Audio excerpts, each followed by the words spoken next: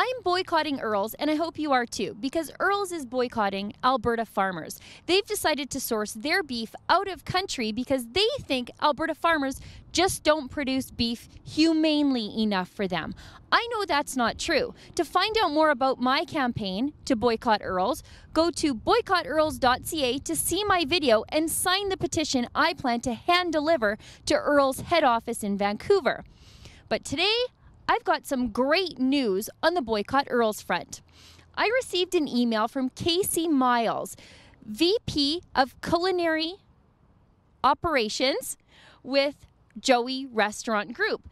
And they can confirm to me that they are continuing to buy Alberta beef despite the fact that their sister company, Earls, is boycotting Alberta beef.